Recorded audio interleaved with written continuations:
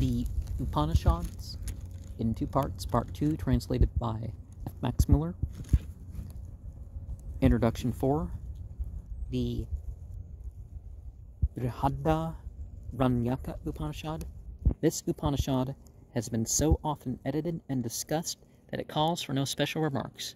It forms part of the Satapatha Brahmana in the Madhyandina Sakha of that Brahmana, which has been edited by Professor Weber. The Upanishad, consisting of six adhyayas, begins with the fourth adhyaya, our third Prapataka of the fourteenth book.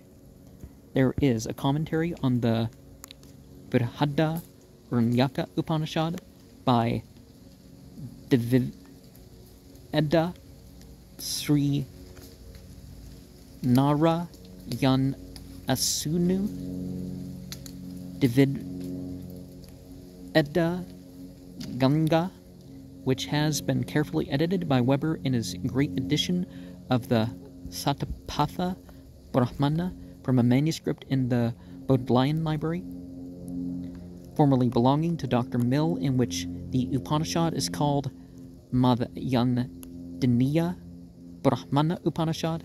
In the Kanva Sakha, the Brihada Ranyaka Upanishad forms the 17th book of the Satapatha Brahmana, consisting of six adhyayas, as Sankara's commentary and the gloss of Anandatirtha, edited by Dr. Roer in the Bibliotheca Indica, follow the Kanva Sakha. I have followed the same text in my translation.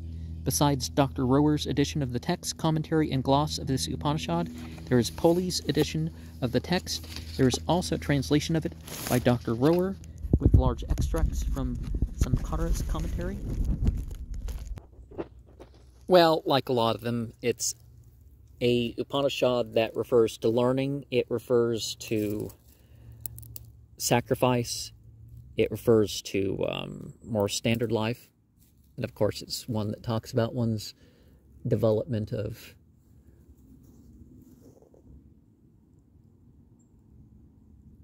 ability.